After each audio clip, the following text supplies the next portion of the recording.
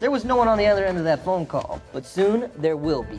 Welcome to the Dreamatorium. Welcome to Watch Mojo. And today we're counting down our picks for the funniest and most iconic moments in one of the most beloved sitcoms around, Parks and Recreation. What I said was, give me all the bacon and eggs you have. Do you understand? Consider this your spoiler alert. Number 20, Andy's band names. Spread your wings and learn to fly. Horses don't fly. That's why I'm telling him, learn to fly. Andy's dreams of becoming a famous musician have reaped some unfortunate, if hilarious, results. He and his fellow players named their band Scarecrow Boat and had hopes of making it outside of Pawnee. In just a minute, Scarecrow Boat is going to rock it out. Please be patient while we rock out the equipment setup. In the show proper, they changed it back to Mouse Rat, but that was far from the only switch up they had in their history. Some of their most hilarious monikers include God Hates Figs, Everything Rhymes with Orange, Puppy Pendulum, Nothing Rhymes with Orange, and Death of a Scam Artist. Andy also tried to have the band carry his name with titles such as The Andy and Andys and Andy Dwyer Experience. No group needs to go through this many names, but hearing the laundry list of options sure is hysterical. Uh, then we were God Hates Figs, Department of Homeland Obscurity, Flames for Flames, Muscle Confusion. Number 19, Meeting Mona Lisa Saperstein. For the record, would hit it, would hit, would hit, hard pass. Tom, who is this person? Jean Ralphio Saperstein may be the best worst character on the show, depending on your point of view, with iconic one liners that have made internet history. As it turns out, so is his twin sister. The worst. She's the worst in the world. We first meet Mona Lisa when she's hired by Tom Haverford as an assistant. She proves to be a bad hire as she slacks off tremendously, leaving us in stitches. When Tom plucks up the courage to speak up, she's into it, and the two begin an unlikely relationship. Like her brother, however, her foibles are a source of comic genius. Remember when she and Jean Ralphio launch into an improvised Don't Be Suspicious song when the latter fakes his death? What would the internet do without you, Mona Lisa? Did I order the what for the what, what, what, what? What are you even talking about right now? Number 18, calzone poisoning. Chris, I'm dying. I was dying earlier today, and then I died. Now I'm dead. There never was a tale of more hysterical woe. Ben Wyatt's obsession with calzones is practically unparalleled, and we're sure they've had many lovely moments together over the years. But, like many tragic love stories, theirs ends in blood, sweat, and, well, indigestion. And I cracked the bottom of the toilet bowl. Oh, God, don't say that. When he finds a wedding caterer that serves mini calzones, it seems like a dream come true. But the higher you rise, the farther you have to fall. And sure enough, he, Chris, and Ron get food poisoning after consuming them. Only Tom is spared, having chosen not to partake. The whole segment is painful. You can practically sense their suffering, leaving us chuckling through tears. We feel for them, but it's too funny to ignore. The calzones betrayed me? Never again, guys. As God is my witness, they're dead to me. Number 17, Ron flees from Tammy 1. If you're going to stay here, there are three rules you need to follow. One, no talk about Tammy. One, two, no talk about Ben. Three, no talk. Ron Swanson is a man of sense, order, and foresight. He's prepared for any and all kinds of disasters. So, when he finds out that his ex wife Tammy, the first one, not the second one, has returned, he wastes no time. Whoa, whoa, whoa, whoa, whoa, run, run, run, run, run, run. What's going on? My ex wife Tammy is back. Yeah, I saw her in the courtyard. No, my other ex wife Tammy. Tammy One. He pulls Leslie aside, informing her that he's going to use all his accrued 228 personal days to solve this problem. He's not messing around, which makes it all the more humorous. This isn't the last time Ron has trouble with women named Tammy either. Let's not forget that he and Tammy Two end up in jail. There's also the drinking contest involving his mom. One thing is for sure if Ron and Tammy's are involved, it's sure to be a chaotic, entertaining time. Godspeed.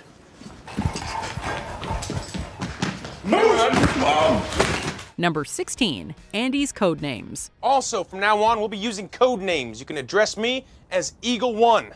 And code name, been there, done that. April is currently doing that. Here's a bit that's so amusing it's become a meme. Clearly, Andy's inventiveness with names extends beyond simple band names. A few days after a pie is thrown Leslie's way, Andy, as Burt Macklin, is on the job protecting the city council candidate. Part of his investigation, for some inexplicable but hilarious reason, involves giving the gang code names. These names, however, are not what you would call appropriate, though Andy seems oblivious to that fact as ever. Let's just say that Ben is justifiably relieved to be called Eagle 2.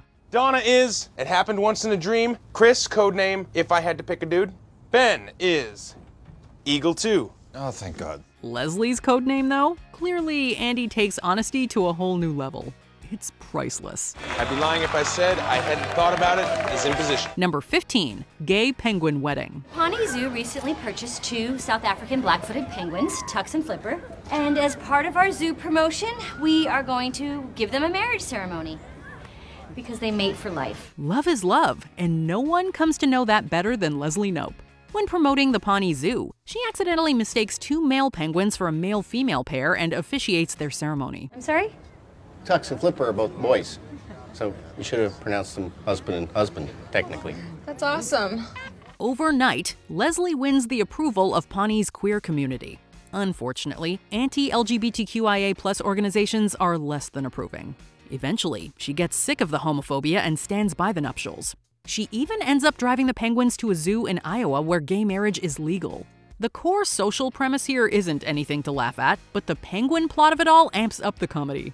Indeed, it's so nonsensical and absurd, you can't help but giggle. We love an ally, even an accidental one. Oh, look, Six Flags! I should take them on a water slide. They might die, but it would be so cute. Number 14, Burt Macklin and Janet Snakehole. Think about it as role playing. That makes it sexy. That could be fun.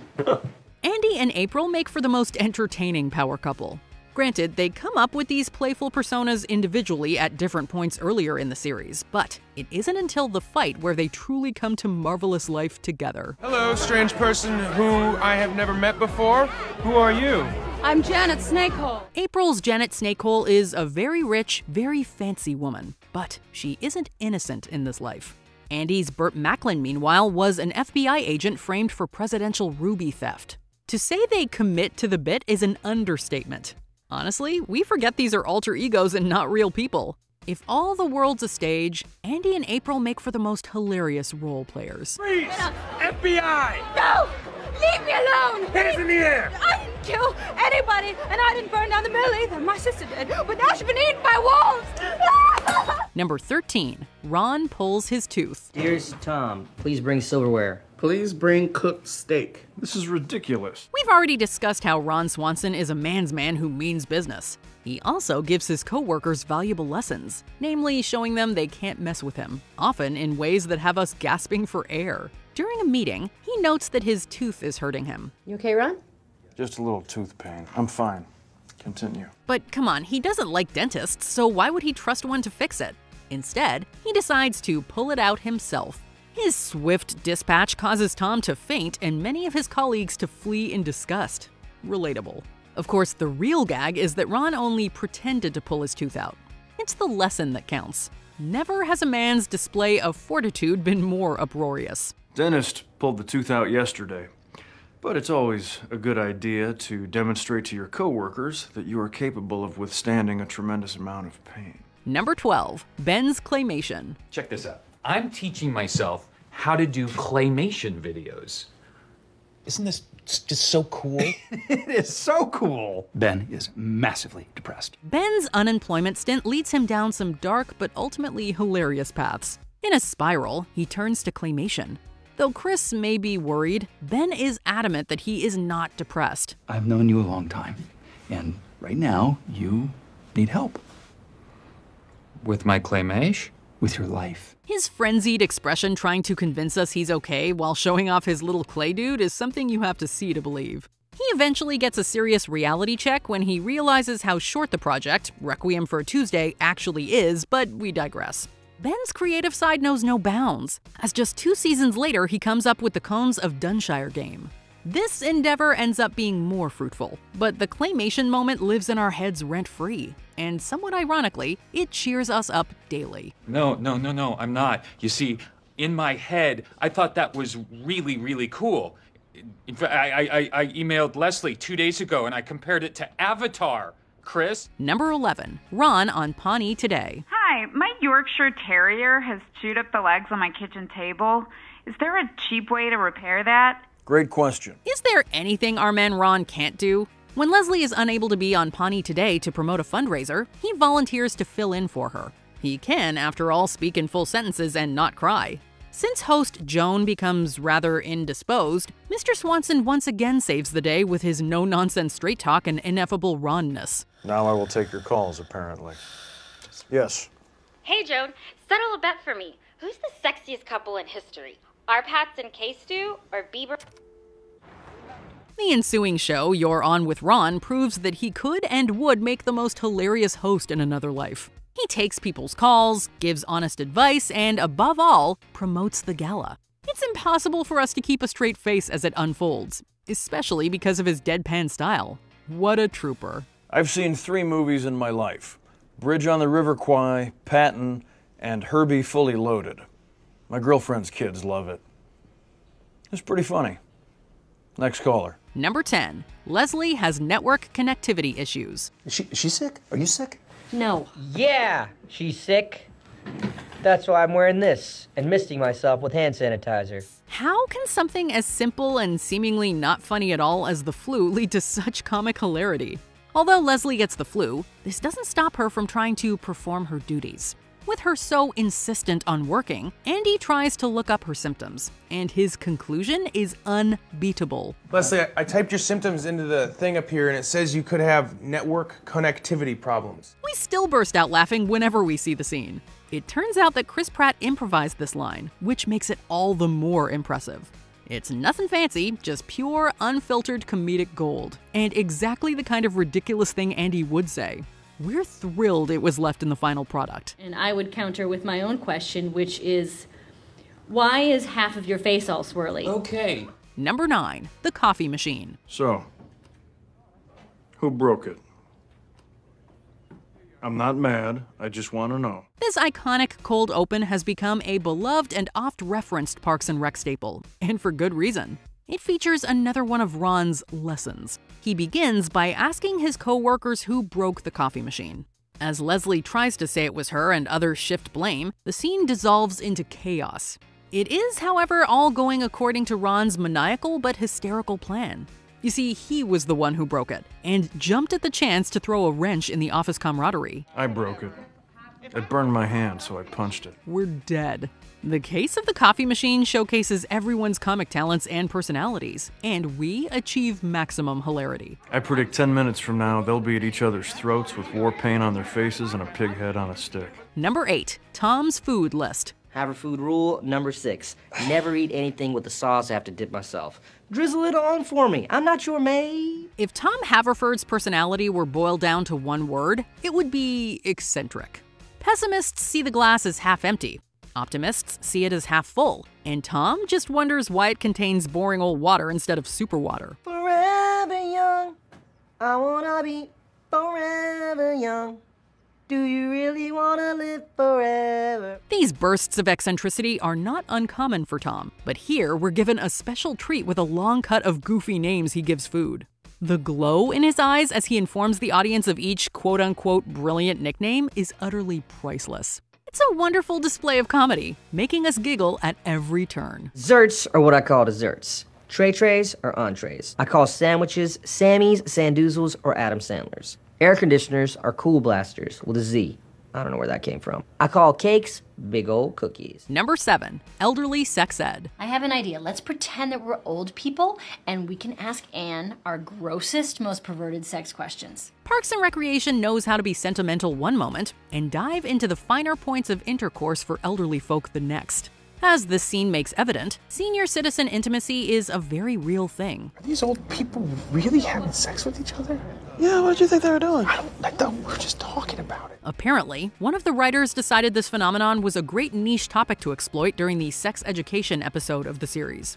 We're sorry for anyone who made the mistake of watching this episode with their parents. But for everyone else, the moment was a hilarious treat that, for better or for worse, became forevermore ingrained in our minds. I'm Marshall Langman, and I'm here to say that sex before marriage is never the way. I waited till marriage and then some to do it. If you decide to sin, you'll rue it. Word. Number 6. Tom and Jean Ralphio give a tour of Entertainment 720. This guy just started a business. He's my friend. It would really help him out. Plus, I'm gonna oversee everything and make sure it goes great. Okay, Tom, we trust you. As we've established, Tom Haverford has a tendency towards eccentricity, and his business venture slash complete disaster with Jean Ralphio perfectly exemplifies this. Their tour reads like a Dos Equis commercial, except instead of listing off crazy stories from their past, the duo lists off ridiculous activities that Entertainment 720 would help accomplish in the future. Why do we keep our petty cash in a clear plastic toilet bowl? I don't know, maybe because we're flush with cash. Only one reasonable question is asked during the entire tour. Shouldn't you focus on building your client base? And it's answered with a simple no. Tom's flair would eventually work for him, but in this instance, it is unrealistic, unfocused, and ultimately highly amusing. First you set up the pond, then you reel in the fish. Big D, hit me! Uh-oh, uh-oh, uh-oh, uh-oh! Come on! We're living the dream. Number 5. Garth Blunden's Star Wars Filibuster. Uh, the Pawnee Charter uh, shall not be changed, not today, not ever. Wow. What would a show about government be without a Mr. Smith Goes to Washington esque filibuster scene? Garth Blunden, played by Patton Oswalt, doesn't see eye to eye with Leslie regarding some outdated Pawnee laws, and he takes to the city forum to stand up for what he believes in. Given Oswalt's self proclaimed obsession with Star Wars, he was given free rein to describe his vision for Episode 7 in the nearly 9 minute filibuster scene, which we highly recommend viewing uncut. If he holds the reality gem, that means he can jump from different realities. This will be our link to the Marvel Universe from the Star Wars universe. Living in a post Episode 7 world, it looks like his vision wasn't entirely accurate. But fans of both Star Wars and Parks and Rec have much to enjoy in this impressive rant.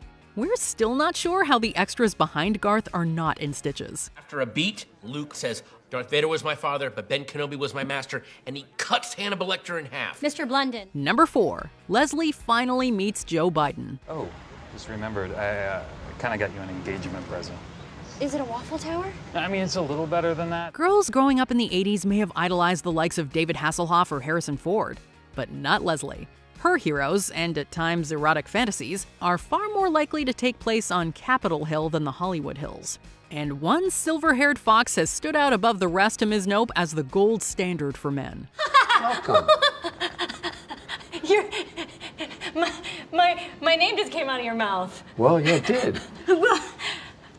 This isn't happening. Thanks to her dutiful husband, Leslie gets a brief chance to interact with Joe Biden, and viewers get the opportunity to laugh at her bewilderment. She speaks just slightly too loudly and answers just a little too quickly when spoken to, and several seasons of built up love for Joe pay off in this one hilarious scene. Thank you, Mr. Vice President.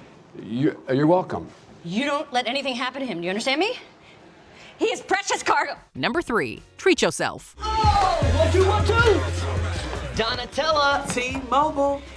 Three words for you. Treat yourself. With what is debatably the most quoted adage of the entire series, we're shown that the good life should be accessible to everyone, at least for one day a year. Donna and Tom have chameleonaire tastes on a Costco budget, but for 24 hours, this does not matter to them. Clothes. Treat yourself. Fragrances. Treat yourself. Massages. Treat yourself. Mimosas. Treat yourself. Fine leather goods. Treat yourself. It's the best day of the year. The best day of the year. The prop pieces and outfits brought in for this gag are uproarious and over the top hilarious. It's difficult not to feel the characters' glee as they indulge themselves again and again and again. Treat yourself. Culminating in Ben Wyatt crying in a crime fighting costume, this episode is, in and of itself, its own special treat. Thank you. I really needed this. I gotta treat myself. Uh-oh, Batman's crying. Number 2. Snake Juice. Please, this is important. I'm launching my new high-end Kahlua style liqueur, Snake Juice. Snake Juice is another Tom Haverford Jean Ralphio exclusive, guaranteed to taste great and ensure an even better night. It's often hilarious to see friends you've known for quite some time get hammered in a social setting. And here, we get to see these on screen comrades get wasted on what's basically rat poison. I believe an ounce of that would literally kill me. Sadly, we weren't given a drunk Donna clip, but the others are hysterical and so on point. In particular, Ron Swanson is at his most memorable whenever he does something that's highly un-Swanson. My name is Ron Swanson. In general, I try never to speak with people, but I have been drinking this snake juice thing and it's damn good. You should buy it. Tom, the yin to his yang, helps extract this, allowing us to enjoy the hysteria of the evening while skipping out on the morning after. Is this everybody? Ann took a cab. Tom's in the trunk, Jerry's on the roof.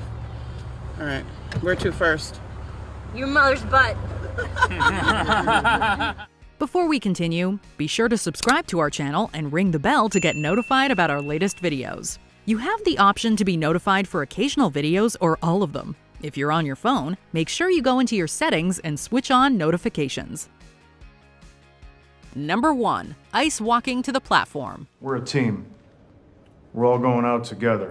Let's give this crowd a show. Go team! The art of the cringe has been mastered in recent years, particularly by TV mockumentaries. Creativity is key when it comes to anything, and that's proven when a campaign rally, an ice rink, and a luxurious red carpet that's just a little too short come together to create one of the funniest scenes in Parks and Rec history. I mean, it was a short walk, but it was pretty luxurious, right? Okay.